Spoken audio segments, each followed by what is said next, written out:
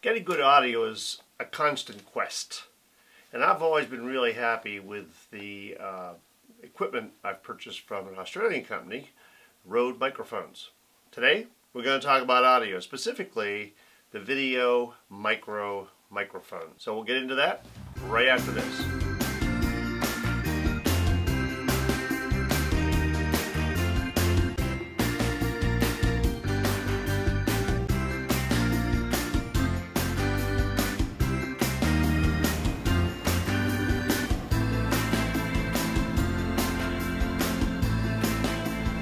Hi, this is Bill Booz. This is Photography and Technology Tools. And the topic today is the Rode Video Micro microphone. I've often said that the uh, quality of your audio is as important, if not more important, than the quality of the video that you record. It only takes one or two recordings with your the microphone that's on your your camera uh, to convince you of this. For example, in the intro, I was using the exact same mic that I'm using now, but the audio is quite different, don't you think? In the intro, the mic was on the top of the camera, and it was the Video Micro. Um, now, it's right up here, just out of the frame. You can't see it, but it's very close to my mouth. Before, I was six feet away. Now I'm like maybe six to ten inches away from the microphone. And it makes a big difference in the quality of the microphone, but also in what it picks up. So if it's further away, it's picking up more of the, the ambient uh, reverberation within the room when uh, your voice has to carry that far. Um, so we're going to take a look at an, a, an example of two different microphones in the same used in the same way and the different quality that you get from that. We'll do that in a second. Um, the Rode, the Rode Video mic was um, the first quality mic I bought several years ago. The Video mic, not the Video Micro. The Video mic is, you know, as you can see in the picture, it's bigger uh, and physically bigger. It's run by a battery, and so you have to remember to turn it on. And it has a big muffler on uh, over the mic itself. You can take that off, but that is it's kind of a uh, helps with wind and so on. The Video Micro, on the other hand, is quite smaller.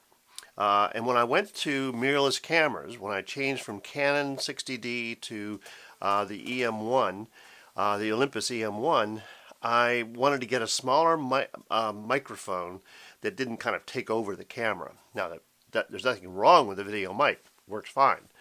But again, I uh, in the example at the beginning of this, of this episode, um, I had it six feet away from me so it, doesn't you don't get the best quality but it is a useful mic if you are videoing several people um, and if you're in a room that's going to be a little bit uh, friendlier to uh, the voice carrying across a space of six feet.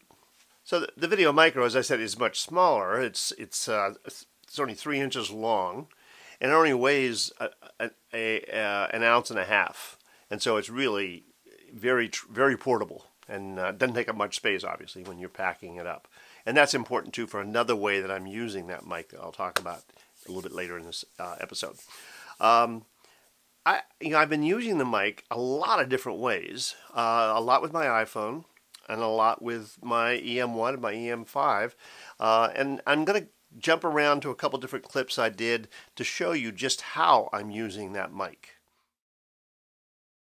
This is a test uh, to compare the audio that uh, I'm getting from using uh, you know, on my EM1, the video uh, mic, which I bought years ago, uh, and the video micro. Uh, as you can see in the videos, they are um, different in size. All right, this is a test to compare the audio that I'm getting from using, uh, you know, on my EM1, the video uh, mic, which I bought years ago, uh, and the video micro, which has a dead cat on it, a wind windscreen right now. Uh, as you can see in the videos, they are um, different in size.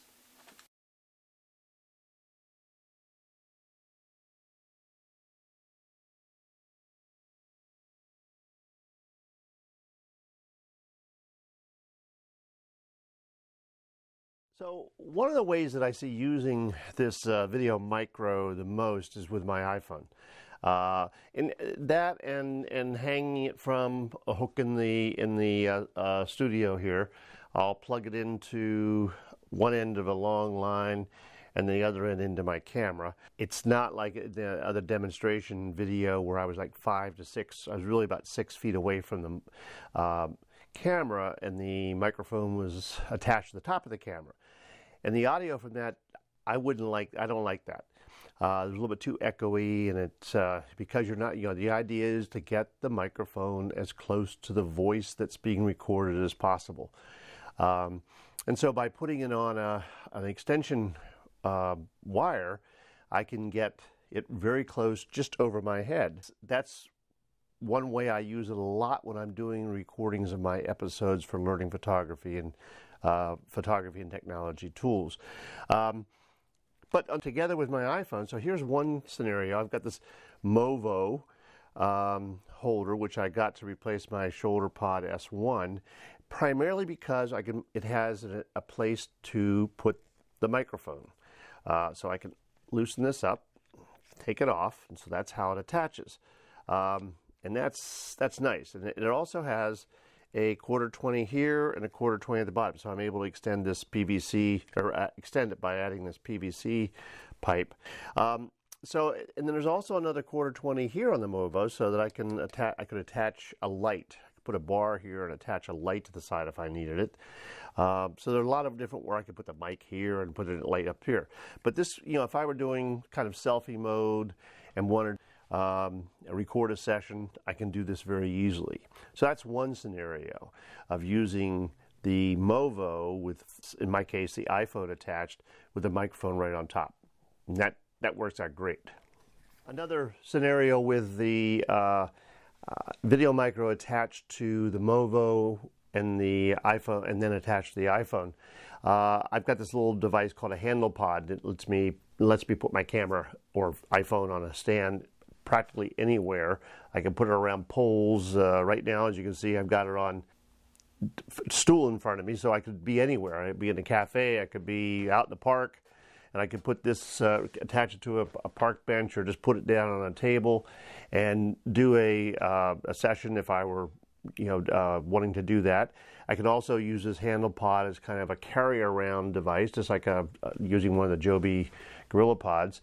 And so it becomes a very versatile tool that lets me use the Video Micro to get good sound uh, and to use the uh, iPhone in a selfie mode to do, you know, just uh, a talk about something or turn it around and use the front facing camera uh, and the uh, microphone facing the other way and interviewing someone or just talking to someone. Uh, so it's it's very handy to be able to use that, and it's and it's so small and light. It's it's really nice. Now there are others that are lighter and smaller than this, but this is very versatile for me, and that's one of the reasons I like the Video Micro. So here's the the handle pod, and you could you could bend this thing in every imaginable way, but I can uh, so I could do a selfie right here and uh, a selfie interview or discussion uh, or I could be at an event and filming it with uh, the HandlePod this way. This is not uh, perhaps as comfortable as using just the extension on the Movo, uh, and I don't need all this extra. But if you just want to take one thing with you, this uh, HandlePod is really a great device, and I'm going to do a separate video just on it. so this is how this looks with Filmic Pro running and the microphone connected. Now again, I'm using since I have an iPhone 7, I have to use this adapter, and this is a Rode uh, TRS to TRRS uh, cable, so that it will work with uh, the input on on this on the all iPhones, all I, iOS devices, and some other smartphones.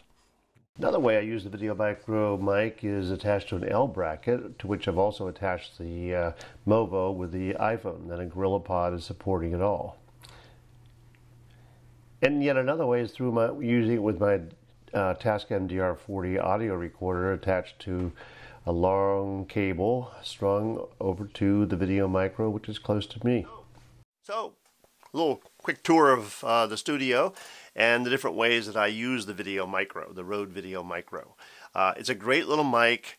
And as I'm putting together a kind of a small bag of those things that I want if I'm out and about and want to be able to start to do re- to record, do some recordings to make a video story, uh, then it's a perfect mic to take with me because I know I'm going to get good sound. Uh, I've got my lab, my, my Smart Lav Plus, which is also made by Rode, uh, and I can use that with my iPhone or with my little um, uh, Olympus digital recorder. So I'm I'm pretty set, and they're all very small small uh, footprint, so they don't take up much room. And so I I can't recommend this mic enough uh, for someone who's getting started because it's not terribly expensive and it comes with its own windscreen with that dead cat and that helps an awful lot when you're recording out in uh, the outdoors when there's it's a bit there's, there's a bit of wind. So again, thank you very much for checking in on uh, this episode. And as always, if you found, got anything useful out of it, I encourage you to give me a like. Uh, and of course, subscribe to the series, subscribe to my channel, and uh, you will see uh, updates to this series as well as my other series. Goodbye.